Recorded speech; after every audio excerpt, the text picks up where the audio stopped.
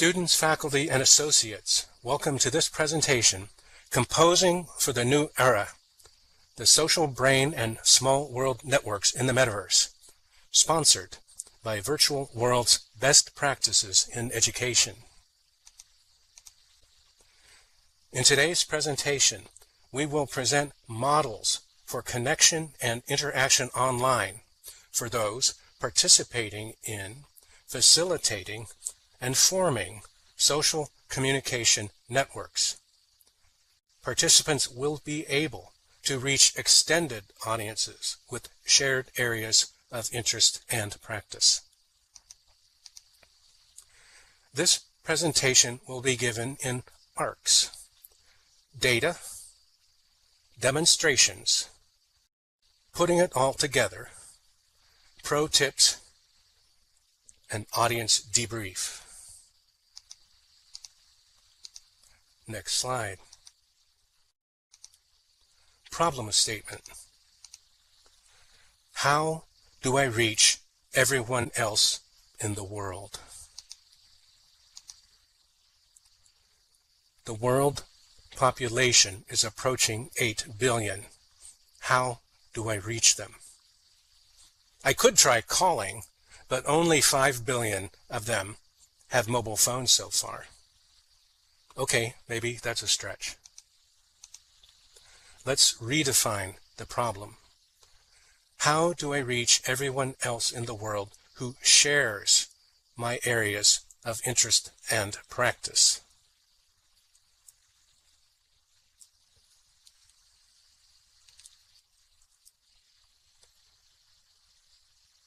whom I don't even know? How do I find allies for my work? How do we find allies for our work? Next slide. Six degrees of separation is the idea that all people are six or fewer social connections away from each other. The concept was originally set out in the 1929 short story Chains by Hungarian author Frigyes Karinthy. It was popularized in the 1990 play Six Degrees of Separation by American playwright John Guare.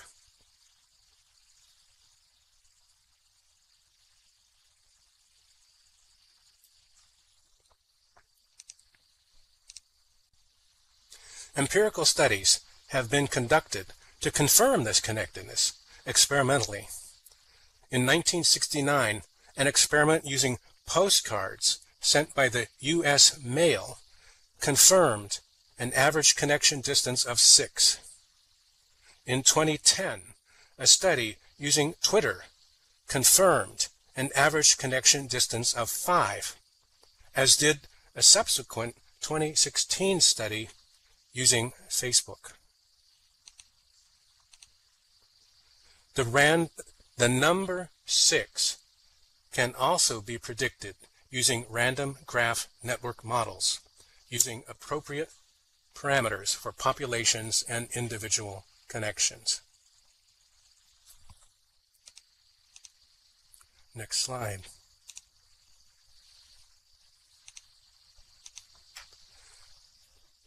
7 plus or minus 2 is an example of a cognitive memory limit. If we are asked to remember a list of 7 of 10 items or more, most of us cannot do it unless the information is presented in chunks. A chunk is the largest meaningful unit in a list that a person can easily recognize. For example, if I said, remember this, 10010101001, most people could not do it. If instead I said, remember this, 1001, 0100, and 1001, most people would be able to do it because I have grouped it into three chunks. What counts as a chunk depends on the knowledge of the person being tested. For non-English speakers who see the string F-O-X-J-U-M-P-S-D-O-G, it makes no sense, whereas most English speakers will automatically group it into three chunks, fox, jumps, dog. For non-Chinese speakers who see the string hu li jiao guo, it makes no sense, whereas most Chinese, Chinese speakers will automatically group it into three chunks, fox, jumps, dog.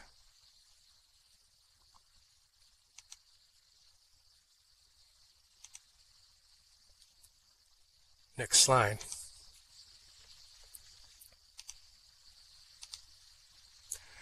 Dunbar's number, 150, is an example of a social relationship limit.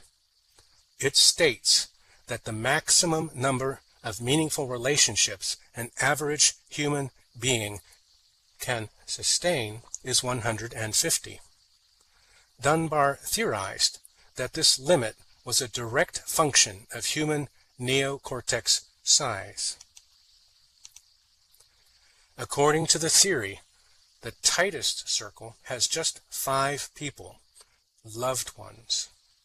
That's followed by successive layers of 15 good friends, 50 friends, 150 meaningful contacts, 500 acquaintances, and 1,500 people you can recognize. People migrate in and out of these layers, but the idea is that the space has to be carved out for any new entrance. Next slide.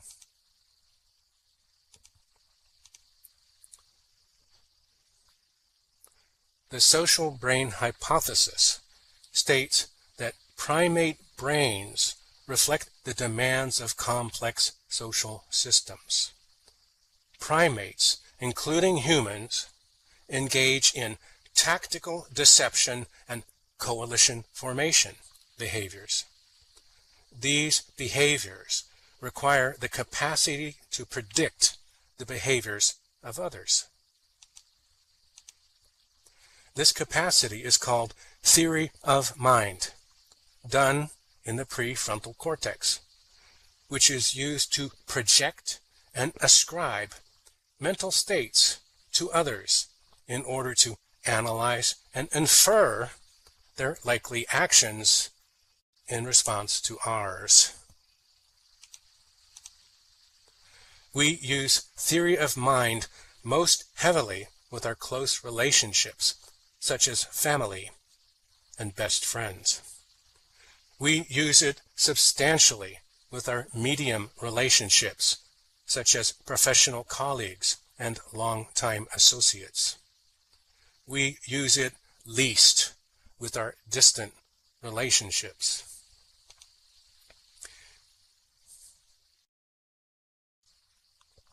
In essence, we are running mental simulations in our brains, one for each relationship that we maintain.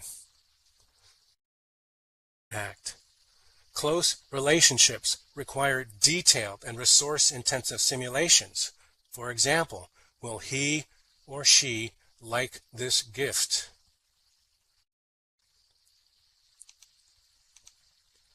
Medium and distant relationships take less resources unless we move them closer due to changes in our circumstances or our work.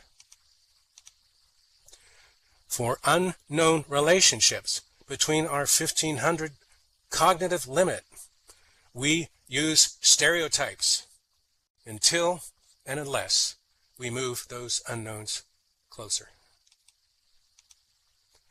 Next slide.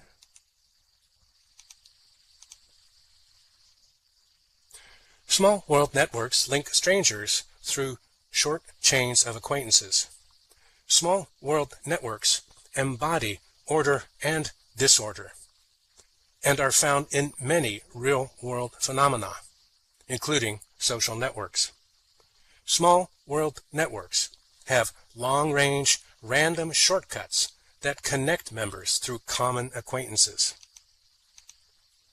This slide shows an example network with 12 members and how they connect to each other.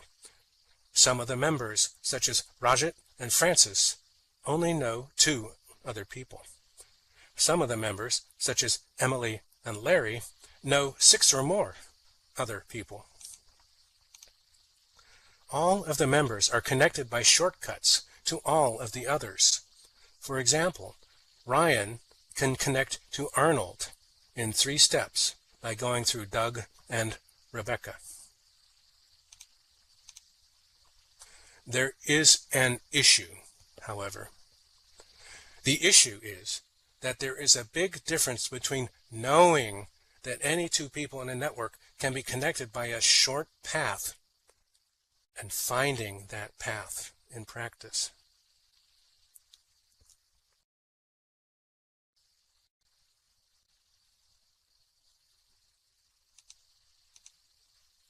This completes ARC 1 data. ARC 3, putting it all together. Recall our problem statement. How do I reach everyone else in the world? How do I reach others with shared areas of interest and practice whom I don't even know? The slide shows a chart with a blue horizontal arrow representing increasing connections and a red vertical arrow representing increased connectivity. The diagonally rising red arrow shows connectivity increasing as a result of the factors reviewed so far, such as 6 degrees of separation and small world networks, and now a new factor called the metaverse. Next slide. Connected members have degrees of separation. The slide shows a diagram of me connected to you by one step. The light blue line shows that it would take us 16 steps to reach Amy, who represents a person that neither you nor I know, who would be a good ally. If only we could reach Amy. Next slide.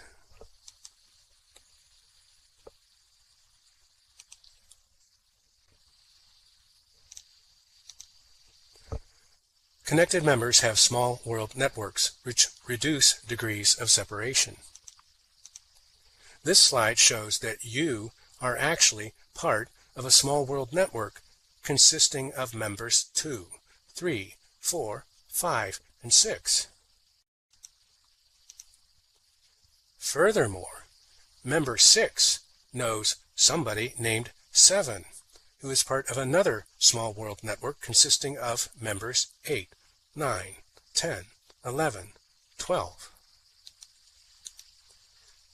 Furthermore, member 12 knows somebody named 13, who is part of a third small network to which Amy belongs.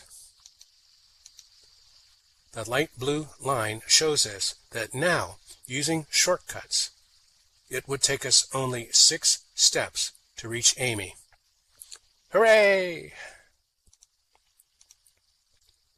Next slide.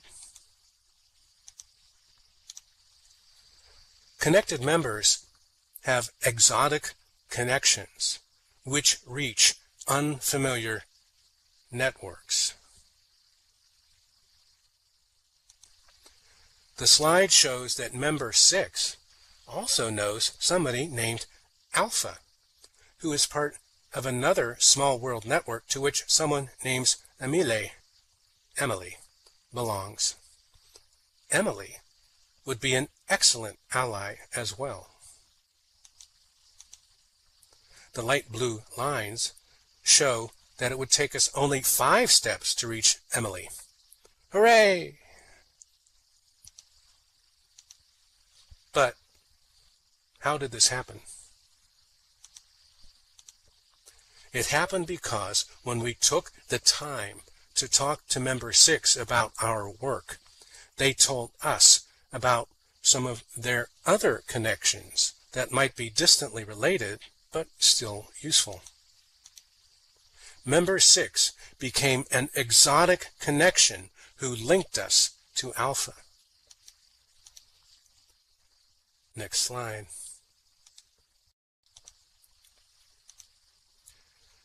Connected members have persistent signals which propagate via chaotic systems to reach potential allies. Chaotic systems include weather, economics, brains, and social networks. The behavior of a chaotic system cannot be predicted in detail, yet there are general trends and recurring patterns that we can observe and with which we can work. A social signal, such as a conference presentation or an online post, will dissipate almost immediately upon entering our physical and online social networks. Our signals must be repeated consistently and persistently and endure multiple bounces to reach others whom we do not know. When a version of our message does reach them, it will be subject to misunderstanding and dismissal. Do we not do the same with the obscure messages that reach us? And yet, if variations of the same signal keep popping up in their conversations and news feeds, variations that are just possibly relevant to their interests, the message may catch enough of their attention to just take a look, perhaps to even respond and ask for more information. That is the first barrier overcome, getting their attention.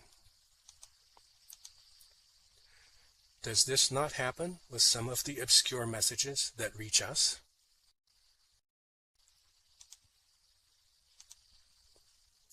Next slide. The metaverse is a chaotic system which boosts connectivity. As a shared reality, the metaverse exists in the wires, radio waves, devices, and apps with which we connect and create.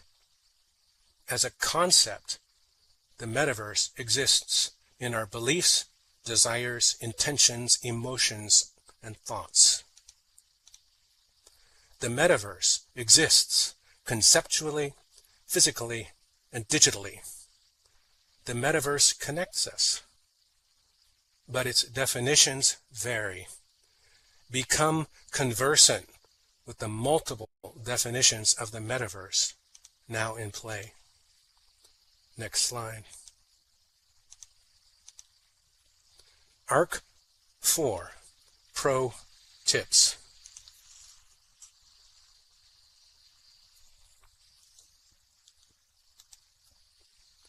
So, how do we reach everyone else in the world, and how do we reach others with shared areas of interest and practice whom we don't even know? The short answer is to continue working through our associates and networks and to continue to augment our physical proximity networking with our digital proximity networking. But now our perspectives have shifted.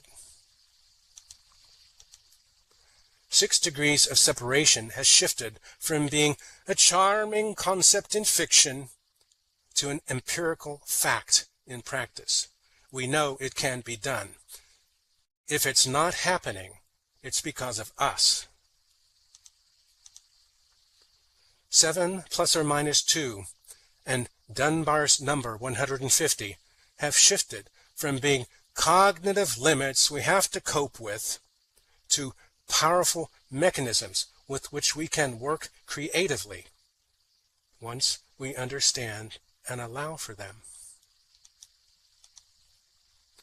Small world networks have shifted from being familiar who we know associations to powerful mechanisms with which we can work creatively to reach who we don't know once we understand them. If it's not happening, it's because of us. Pro tips. 1. Be a persistent signal. What messages are you putting out and are they clear? Record yourself. Watch your recordings. Fine tune your messages. Is what you are saying clear? Get feedback. Recordings and relatives are excellent sources of feedback. 2. Be aware of multiple signals to multiple audiences and tune them. Distinguish between messages for known networks and messages for potential allies who don't have the full background.